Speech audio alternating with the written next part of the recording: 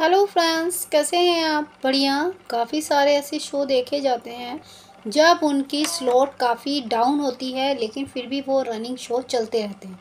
ऐसे में जो है चैनल उन्हें काफ़ी ज़्यादा मौका देता है, या फिर कह सकते हैं कि कहीं ना कहीं उनका प्रोडक्शन काफ़ी सस्ता होता है तो इसीलिए शो जो है काफ़ी बड़ा सफ़र करता रहता है। और कुछ शो ऐसे होते हैं कि टीआरपी हाई होने की वजह से प्रोडक्शन को और डाला चाहता है, कि इसकी टीआरपी हाई कर सकते हैं। तो ऐसे में वो शो में छेड़खानी शुरू कर देते हैं और कहानी को बदलने की कोशिश करते हैं तो ऐसे में कहीं ना कहीं उन्हें नुकसान भुगतना पड़ता है। ये काफ़ी बार शो में देखा गया है।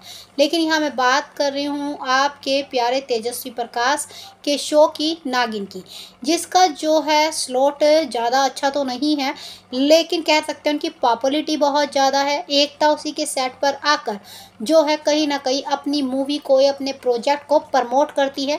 उन्हें पता है तेजस्वी प्रकाश की एट दिस टाइम पॉपुलरिटी बहुत ज़्यादा है। फिर चाहे उनकी मूवी का कोई सॉन्ग ही रिलीज़ क्यों ना हो तेजस्वी प्रकाश की जैसे मन कस्तूरे का जो है रिलीज़ हुआ तो एक दिन में ही वन मिलियन जो है उनके व्यू हो गए, क्योंकि उनके फैंस बहुत ज़्यादा हो गए हैं और उनकी चुलबुली हरकतें फैंस को बहुत ज़्यादा पसंद आती हैं।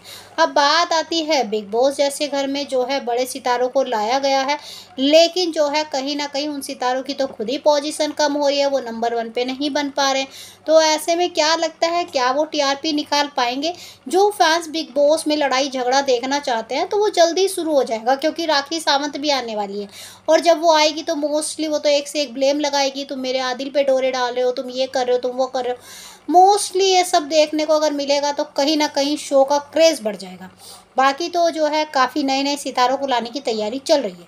तो चलिए बताते हैं स्लॉट क्या है। नागिन की स्लॉट जो है फोर्टी पॉइंट फिफ्टी वन है। मे भी इसके टी आर पी टच करेगा।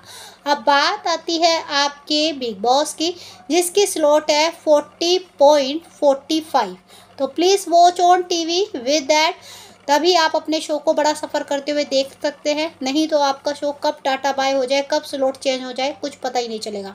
बाकी जानकारी के लिए डियर लाइक सब्सक्राइब दोनों बनता है।